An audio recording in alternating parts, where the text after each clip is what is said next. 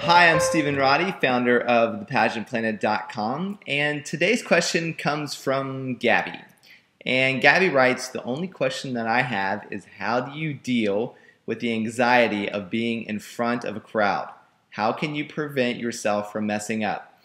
Well, Gabby, my greatest advice to you would be not to focus on messing up. How your mind works is whatever you think about and whatever you meditate on, it expands.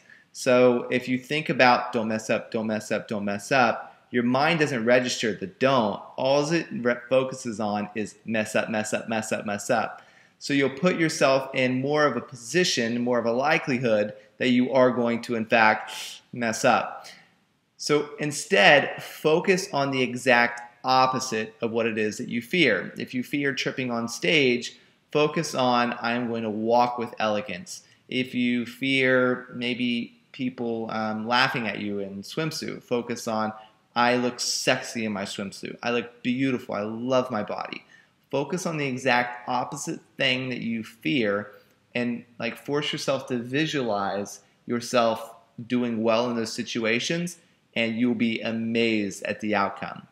If you'd like your question to be answered here on video or in email or maybe even in a blog post, simply click the link below and sign up for our 233 free practice interview questions.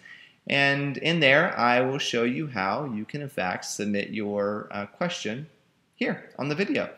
And with that being said, have a great day.